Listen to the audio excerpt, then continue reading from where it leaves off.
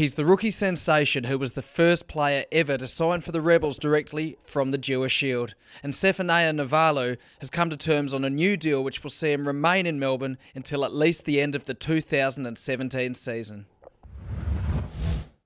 Naivalu, or Super Sefa to the fans, has played in every match for the Rebels in his maiden Super Rugby campaign and scored the try which saw the Rebels win in Canberra against the Brumbies for the very first time. scores a cracking try for the Melbourne Rebels. Help us celebrate Sefa's new deal with the Rebels. Get along to AAMI Park this Saturday night as we host Sonny Bill Williams and the Chiefs from 7:30 p.m. Go Rebels.